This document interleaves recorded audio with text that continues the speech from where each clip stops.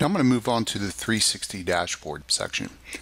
There are over 115 CAN yet customizable charts contained in these folders I'm scrolling through here. You can uh, adjust the way they look and so forth. They also uh, will look at this global criteria, which is fully customizable, so you can narrow your focus if you'd like. Uh, you can also narrow it down to users or user categories and even down to devices. So if you want to hone in on a particular department or something to that, or maybe it's just a singled out machine, you can include device categories too.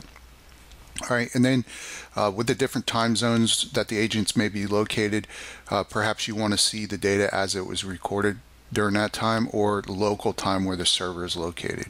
All right, and here's where you can set the criteria for the time zone.